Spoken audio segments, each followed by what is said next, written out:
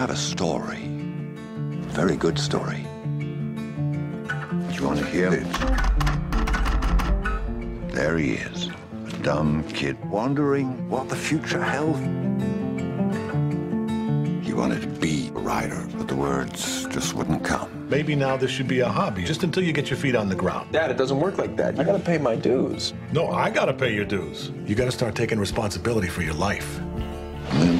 And then, all of a sudden, there she was. For the first time, he saw a world that was bigger than the one he'd been born into. Okay, I gotta finish this. Fine. But you're missing out. Finished. That was his moment. No. Tell me the truth. What really happened? The nature of the publishing business right now, I don't know how to publish a book like this. What once was his whole world suddenly seemed small. We don't have any money. Shh. I'm not who I thought I was. And I'm terrified that I never will be. He knew the life he wanted.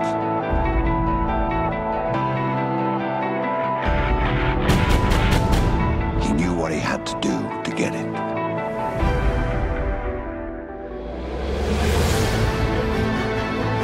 It's so different from anything you've ever done before. I have to tell you something. Wait, not over yet.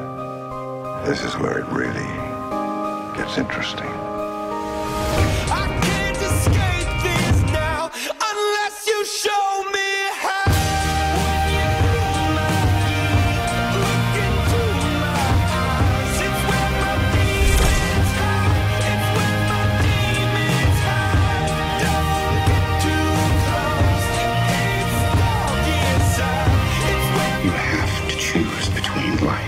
fiction. The two are very close, but they never actually touch.